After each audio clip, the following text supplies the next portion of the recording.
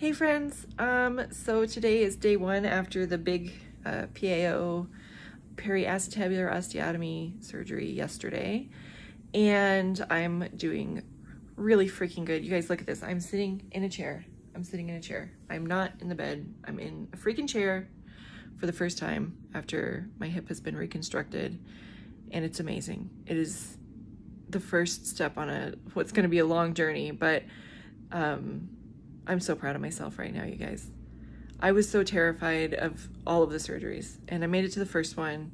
And I won't go into too much detail, but there was a, a little bit of a, a, bad time in the after uh, post-op and that one. And so when I came to this one, I was so anxious. I literally threw up like four times yesterday morning before we got here. And uh, it was rough, but I did it. I did it and it's done. And now it's going to be a lot of work and determination, but I have so much hope and it's overwhelming. And I know it might not sound like a big deal to you guys for me to sit into a, in a chair, but I have been mostly stuck in my bed or my wheelchair for the past better part of four years. It's been so long since I had any kind of hope. And today I'm sitting in this chair looking out this window at this beautiful view, and I can see it. I can see myself running with my children in the forest or walking anyway. Um, and the doctor said that that's absolutely acceptable to do because my hips will be perfect. They'll be absolutely brand new and healthy. Um, so yeah, today's a good day. Uh, we did have a couple of things happen that were kind of sucky let's see, I didn't really like to focus on that, but I'll go over it anyway, because if anybody is having the surgery and wants to know what it's like, I'll tell you what the whole process was.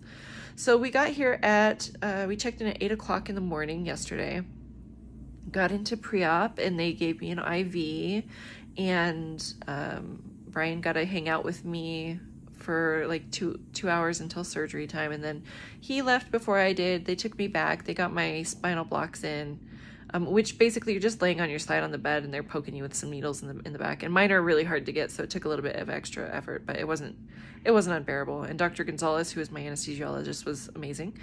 Um, and my nurse, who Jesse, who's down there, is also amazing. And the whole operating team was absolutely amazing. Everybody here has been amazing. But uh, we got into the emergency or into the operating room and they give you a mask and tell you to breathe deep and all that and then you don't remember anything and then you wake up.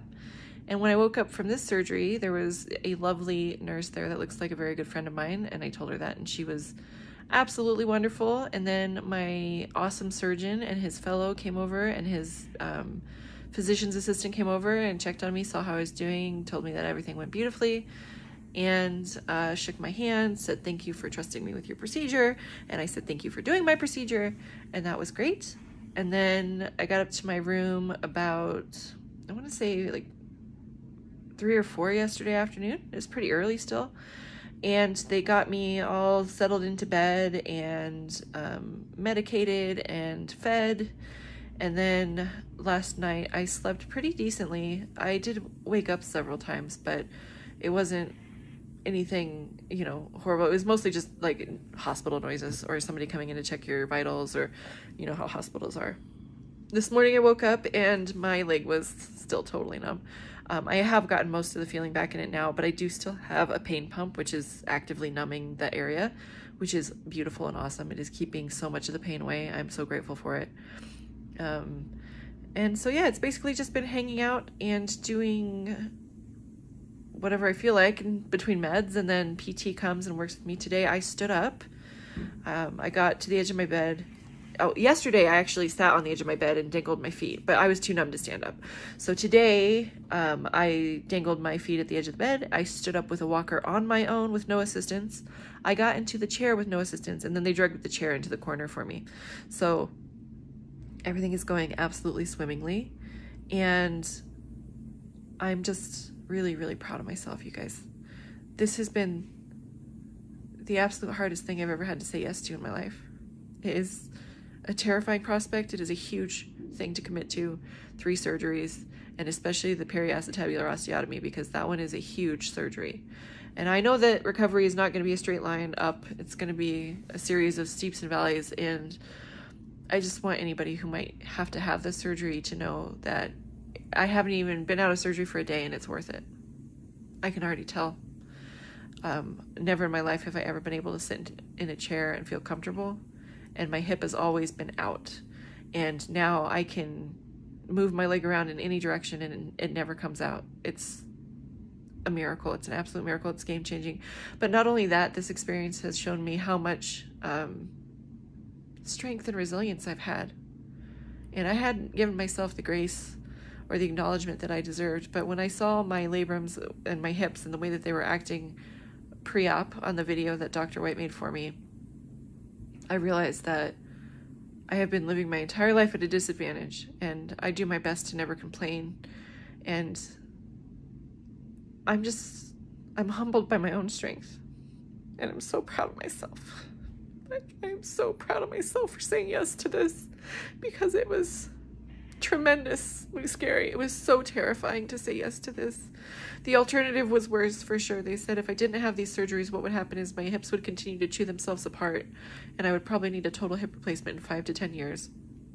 And because of my age, I would need another total hip replacement in 20 years, and another total hip replacement in 30 years, and another hip replacement in 40 years. So if I make it that far, you know, um, which is perfectly feasible because 70 isn't even that old, 75 isn't that old. So knowing that I would have to have four, five, six total hip replacements versus these three surgeries, I would absolutely much rather do that now when I'm young and able to heal and um, avoid all that. And to keep my own to keep my own hips my native hip because that is the best thing that you can do. So uh, as hard as this has been and as hard as this is going to be i would say if your doctor feels like this is the thing that you need to do it's worth it I know it's terrifying. It's absolutely terrifying. It's the scariest thing you'll ever have to go through. But on the other side, it's nowhere near as bad as I thought it would be. It really isn't. Um, and everybody has been so compassionate and caring. And if you're in Colorado and you need a hospital to go to, Skyridge is amazing. The food's good. The people are great. Um, yeah, everybody here has just been absolutely amazing. So that's my update for today. Um, I was planning on making a video yesterday for surgery day, and I just was so anxious and throwing up. I didn't really think you guys wanted to see that, um, so I didn't. I didn't take a video of that. So we're doing today instead, and today we're doing fantastic. We are making huge strides and celebrating. Um, I feel like I have had a self doubt ectomy. They have removed any doubt I had in myself. I believe in myself so wholeheartedly now because I did it, you guys. And I'm I'm in awe of myself. And I know that that might sound weird or conceited or self-centered, but I don't even care. This was huge and I did it.